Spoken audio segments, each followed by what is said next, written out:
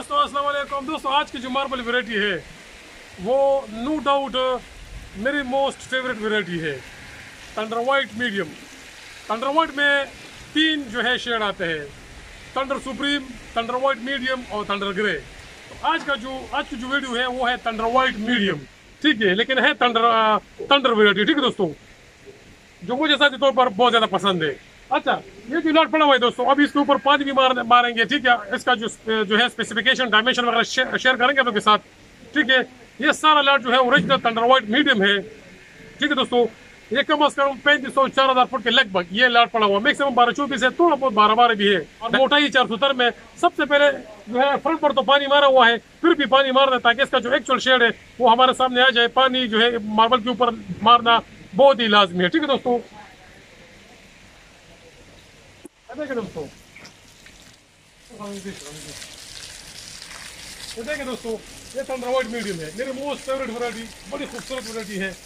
इसमें जो लाइन है, ये जो है, जब ज़मीन पर लग जाए तो बहुत ही प्यारा लुक देता है। बहुत ही खूबसूरत लुक देता है। क्योंकि दोस्तों ये देख ले।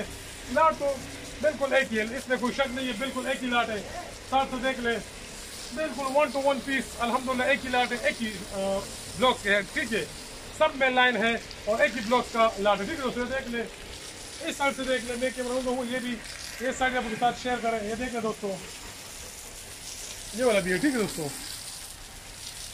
ये ग्रे थंडर ग्रे है ठीक है। ये ग्रे है और ये थंडर वाइट मीडियम है, ठीक है। अभी सूरज की रोशनी बहुत ही ज़्यादा है तो इसलिए ये थोड़ा मीडियम दिख रहा है, ठीक है। थोड़ा सा मीडियम दिख रहा है।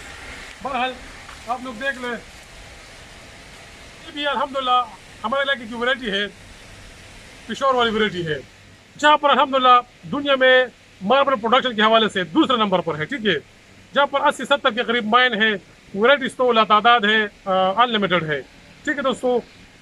तो ये भी जो है, जहाँ पर जैरत कैमोर चीता, स्ट्रॉबेरी वगैरह है, ये भी, ये माइन भी वहाँ पर हुआ है, ठीक है दोस्तों? दूसरी बात ये है, अगर प्रेस के हवाले से बात करें दोस्तों तो प्रेस में जो है थंडरवाइट जो है, काफ़ी एक्सपेंसिव वैरायटी है। लेकिन खैर ये तो जो लाट है, ये इकनॉमिकल है, इतना महँगा नहीं है। आम बंदे की बजट में भी ये जो है आ जाता है। इसका प्राइस जो है दोस्तों सिर्फ़ और सिर्फ़ एक सौ बीस रुपये फुट है one hundred twenty rupees per square foot है ठीक है दोस्तों तो प्राइस में तो खैर माकूल है और इकोनॉमिकल है। बाकी जो है मैं कोशिश करता हूँ इसको मैं जूम करके आप लोगों के साथ इस जो एक्चुअल शेड उसी तरह दिखा दूँ। ठीक है दोस्तों?